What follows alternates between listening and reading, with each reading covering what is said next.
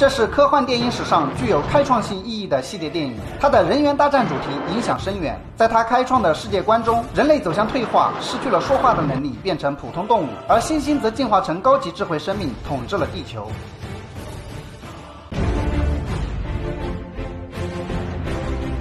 以新鲜的视角提供原创的科幻影评。大家好，我是问剑，今天跟大家一起来解读《人猿星球》系列电影。我们先来快速了解一下这个系列五部电影的剧情梗概。第一部《人猿星球》上映于一九六八年，故事背景设定在三九五五年的未来。一艘从一九七二年发射的飞船，经过接近光速的旅行后，穿越到了近两千年后的未来。飞船坠落在未知星球上。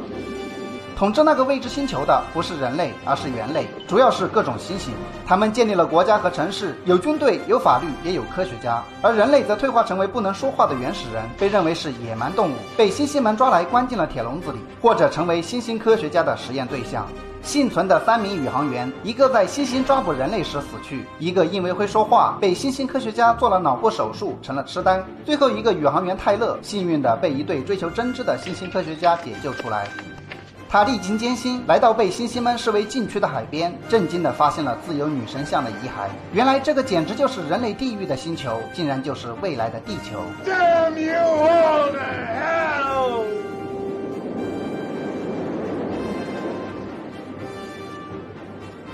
第二部《失陷星球》上映于一九七零年，故事承接第一部，同样发生在三九五五年的未来。由于第一部中宇航员泰勒的飞船失踪，人类再度发射了另一艘救援飞船，从1972年追逐而来。结果飞船也坠毁在了3955年的未来地球，只有宇航员布伦特一人幸存。布伦特遇见了未来人类诺娃。两人来到星星们的城市，结果被发现。星星军团四处追捕他们。为了躲避星星军团，他们意外来到了一个神秘洞穴，发现了一群未来变种人。这些变种人能够通过意念控制人的大脑，让人产生幻觉，甚至控制人的行为。在这里，宇航员布伦特遇见了被囚禁起来的宇航员泰勒。此时，猩猩军团扫荡了变种人的洞穴之后，偷藏在这里的一颗过去遗留下来的核弹被引爆，人类和星星们同归于尽，整个地球也就此毁灭。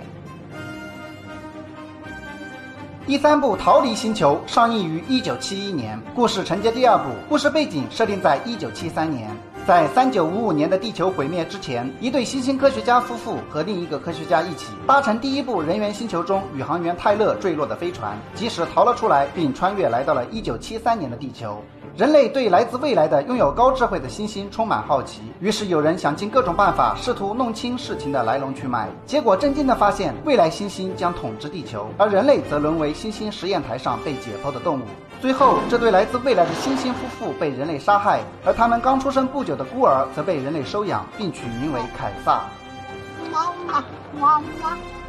第四部《征服星球》上映于一九七二年，故事发生在第三部电影的十八年以后。那年，凯撒十八岁，因为一场瘟疫，地球上的猫和狗全部灭绝，于是人类开始饲养猩猩作为新的宠物。随着猩猩的体型越来越大，人类开始训练猩猩成为奴隶，猩猩们遭受人类的疯狂虐待。被暴力激怒的凯撒成为猩猩奴隶们的精神领袖，他带领大家发起革命，最终战胜并摆脱了人类的奴役。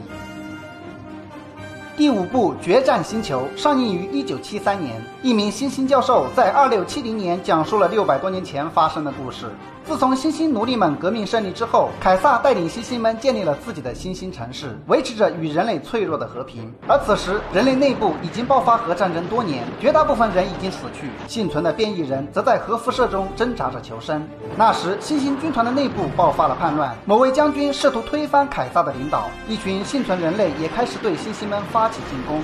经过艰苦决战，最后凯撒平息了一切。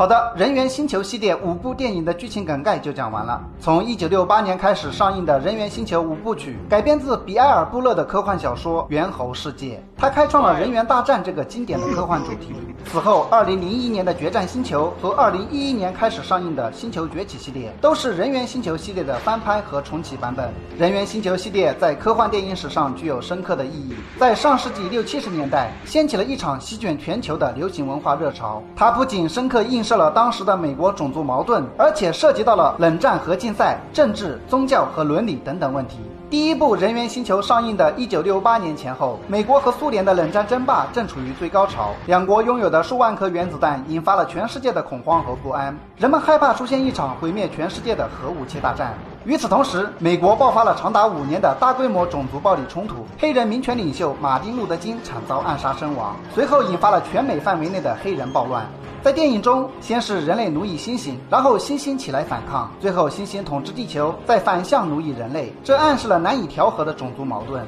在电影中，直接导致人类走向灭亡边缘的是人类内部爆发的核战争，最后在两千年后毁灭地球的还是人类制造的核弹。这表达了人们对于核武器可能带来的恐怖后果的担忧。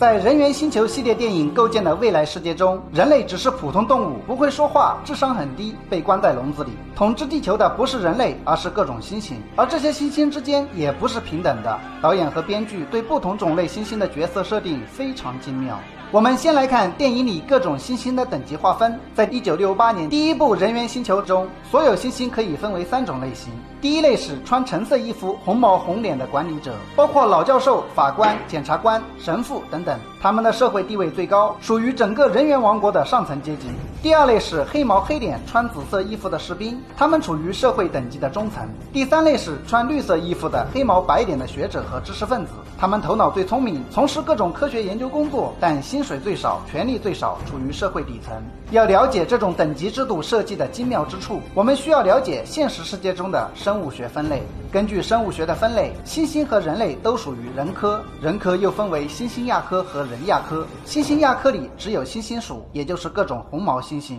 而人亚科又分为人族和大猩猩族。大猩猩族里只有大猩猩属，也就是各种大猩猩；而人族里则包括人属和黑猩猩属。黑猩猩属就是各种黑猩猩，人属就是人类。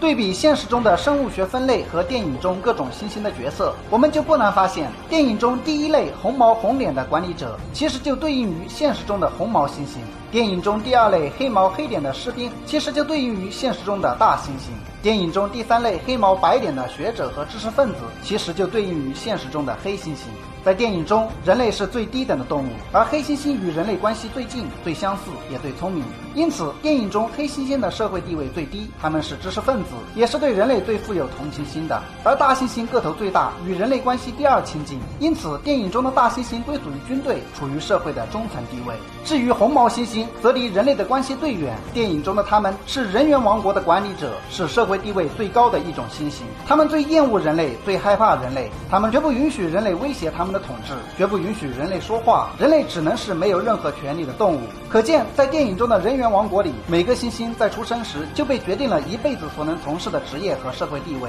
他的种族决定了他一生的命运。这种种族等级制度的设定，让整个人猿星球系列从里到外都散发着反对种族主义的思想。聊完了猩猩的等级制度，我们再来聊另一个由人猿星球引发的很有趣的问题。我们知道，在人类进化史上，从古猿进化到现在的人类，一个重要的身体变化就是褪毛了。古猿和今天的猩猩一样，浑身毛发茂密，而我们今天的人类毛发却很少，这似乎给了我们一种越先进毛发越少的感觉。那问题来了，在人猿星球里，猩猩们取代人类成为了最高智慧的物种，他们会不会一步步逐渐褪毛，最终演变为现代人类的模样呢？要回答这个问题，我们首先需要理解，在进化史上，人类为什么会褪毛？有关人类为何褪毛，几百年来产生了诸多不同的假说，水源假说、寄生虫假说等等理论，引发了科学家们的激烈争论。目前在科学界认同度最高的理论是散热理论。这种理论认为，人类祖先之所以脱去体毛，是为了散去身体多余的热量，保持健康的体温。因为对于很多哺乳动物而言，保持身体凉爽是一个超级大难题。尤其当它们生活在炎热干燥的环境时，如果要进行长距离奔跑，就会产生大量热量。此时，它们就必须及时调整自身体温，否则一些器官和组织，特别是大脑，就会因为过热而受损，严重的还可能致命。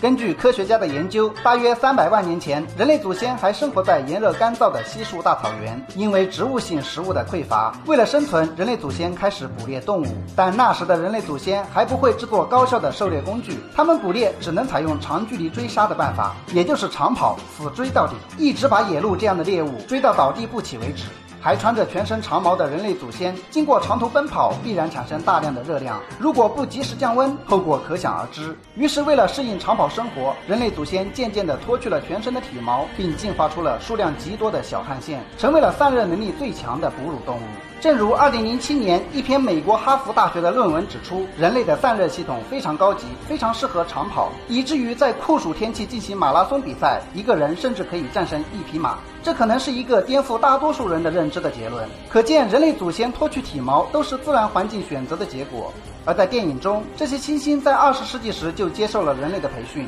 会制造和使用很多工具，还会种植农作物。他们根本不需要和人类祖先一样长途奔跑去捕猎。所以他们也不太需要担心散热问题，更不会无缘无故就脱去全身的体毛，也就不太可能进化成和我们现在人类一样的模样。好了，人猿星球系列电影就聊到这里。这个系列的五部电影口碑高低不齐，因此分别给予评分。一九六八年的第一部科幻经典五星推荐，一九七一年的第三部四星佳片值得一看。其余的三部电影我给的推荐指数是三颗星。坚持独立思考，以新鲜的视角提供原创的科幻影评。我是问剑，写科幻小说，看科幻电影。喜欢我的科幻影评，就请关注我，为我点赞。我们下期再见。